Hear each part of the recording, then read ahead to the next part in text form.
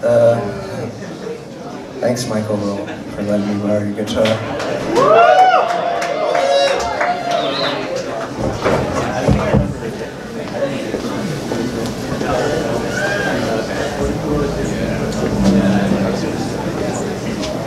This, next, this song is by uh, Ricky Nelson.